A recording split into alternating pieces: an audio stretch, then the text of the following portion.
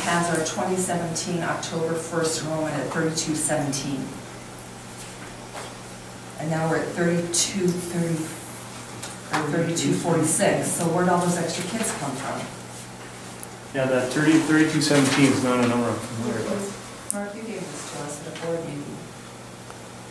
Yeah, I'm looking at it, it's the history, right?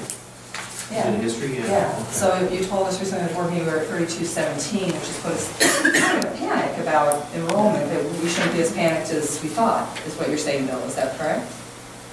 In terms of being on target for budget? Yeah, the, the numbers that I have on the sheet were, um, what were submitted to the state, uh, Okay. in December, but, So this number here is wrong. well, I I I don't When, when you do our submissions, Mhm. you do them periodically, and the last submission for the, 1st. for the first, right? Right, I'm just saying, if you're getting numbers from the state in December, they.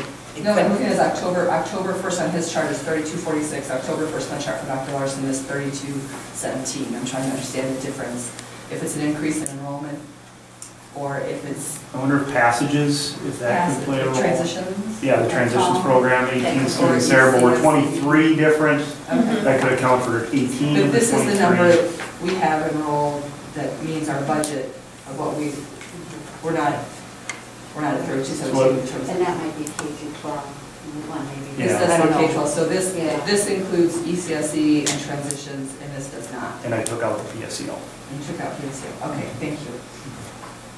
So I'm sorry, the one on yours includes transitions and what else?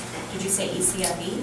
No. ECS, Oh, thank you. early childhood special all these acronyms. Yes, my God. thank you, I Yep. misheard that. Good question. Thank you. There's just so many. numbers. Lot of numbers, yeah.